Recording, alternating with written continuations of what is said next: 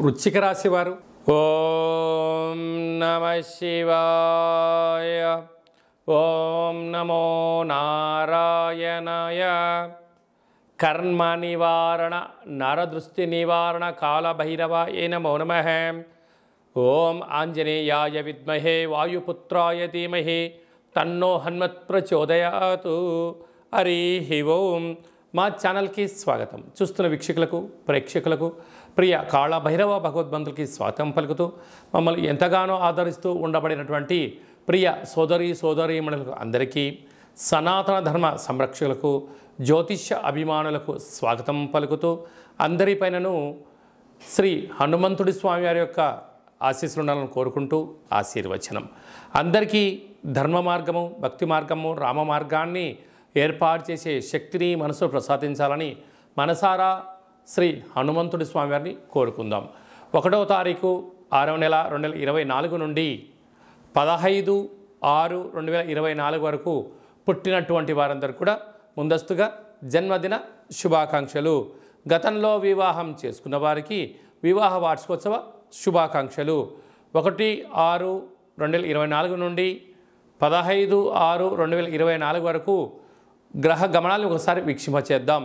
మేషరాశిలో కుజుడు స్వక్షత్రకారకుడు వృషభ రాశిలో చతుర్గ్రహ కూటమి రవి బుధ గురు శుక్ర సంచార స్థితి శుక్ర భగవానుడు స్వక్షేత్ర సంచార స్థితి రవి చేత గురు శుక్రులు ఇద్దరు గురుమౌఢ్యమి శుక్రమౌఢ్యమి జరుగుతున్న విషయం తెలిసినటువంటిదే. అలాగనే కన్యరాశిలో కేతు సంచార స్థితి కుంభరాశిలో శని భగవానుడు స్వక్షేత్ర సంచార స్థితి మీనరాశిలో రాహు సంచార స్థితితో ద్వాదశ రాశుల్లో గ్రహ గమనాలు ఈ విధంగా ఉన్నాయి. గురువారం అమావాస్య రోహిణి నక్షత్ర సందర్భంగా గజకేసరి యోగము ఎలా పొందాలి అనేటువంటి విధి విధానము అలాగే ఏడవ స్థానంలో చతుర్గ్రహ కూటమి సంచార స్థితితో ఎలాంటి దోషాలని తొలగించుకోవాలి ఎలాంటి అదృష్టం కలిగించుకోవాలో ఈ వీడియోలో సవివరంగా సంపూర్ణంగా తెలుసుకుందాం.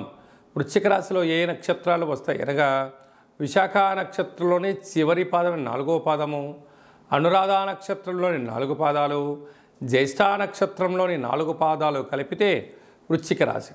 చాలామందికి పుట్టినటువంటి కాల సమయంలో డేటా ఆఫ్ బర్త్లు లేనటువంటి కారణం వలన పేరు యొక్క మొదటి అక్షరాన్ని అనుసరిస్తూ ఆ రాశిని తెలుసుకునే ప్రయత్నం చేద్దాం. తో నా నీ నో నే నో యా యు.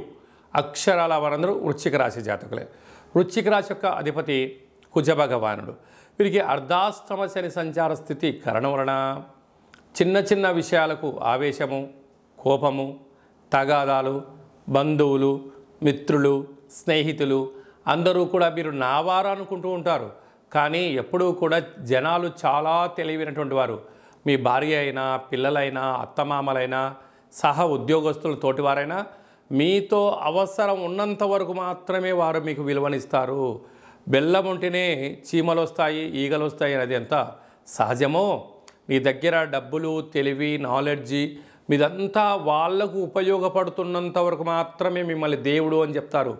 ఏ ఒక్క క్షణం మీరు వీటికి దూరంగా ఉండగలిగినట్లయితే ఇన్ని రోజులు నీ సహాయం పొందినవారు ఇన్ని రోజులు నువ్వు దేవుడు అని చెప్పిన వాళ్ళు నిన్నే దయ్యము అని చెప్పి నిన్నే రాళ్ళతో కొట్టే పరిస్థితి చాలా అధికంగా ఉంటుంది. కనుక ఏ రోజైనా వృశ్చిక రాశి జాతకులు ఒంటరి వారే అని చెప్పి గమనించాలి. మీ ధర్మం మీ నీతి మీ ఆధ్యాత్మికత మీ ప్రశాంత జీవన విధానమే మీకు ఐశ్వర్యం ఆనందం మీ సొంతం అవుతుందని చెప్పి గమనించాలి. లేకపోతే పోలీస్ స్టేషన్లు కోర్టు గొడవలు అశాంతి ప్రశాంతత లేని జీవితం పొందే పరిస్థితి ఉంటుంది.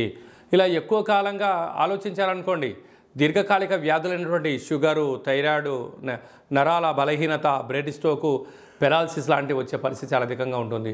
ఇలాంటి కాల సమయంలో మీరు ఎంత బరువు అయితే ఉంటారో అంత బరువు కలిగినటువంటి ఉప్పును తులాభారంగా చేసుకొని నీటితో కరిగించి ఆ ఉప్పుతో మహాదేవుడికి రుద్రాభిషేకం చేసుకున్నట్లయితే ఎవరు మనవారు ఎవరు పరాయివారో మీరు గమనించేస్తూ ప్రలోభాలకు గురి కాకుండా మీ పని మీరు చేస్తూ విజయానికి మీ సొంతం అవుతారని చెప్పి గమనించాలి.